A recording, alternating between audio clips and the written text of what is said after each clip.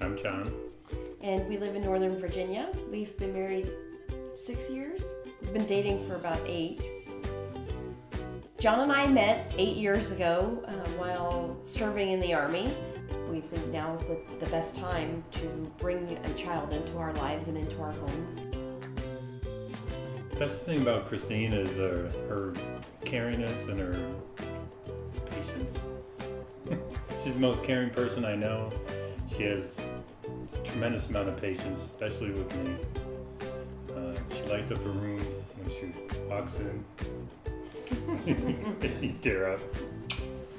The best thing about John is his big heart. John is so kind and has such a big heart when it comes to especially his friends and his family.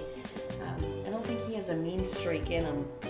I look forward to see him fathering our, our future child.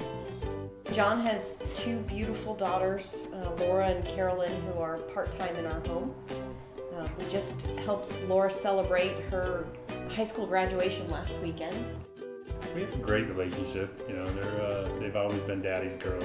Uh, it's been my lifelong desire to be a mother, and you know they think John is a great father, and they'd be great sisters. Just being together, we wanted to have a child of our own. We've been married for six years, and having a child together was always in our plan. Sometimes our your plan doesn't work out the way you work it out in your head. We would be blessed to, to bring a child into our lives and to be able to raise that child and um, be parents. And we'd love to bring a child into our home and, and just share our life experiences with him or her and it would mean the world to us.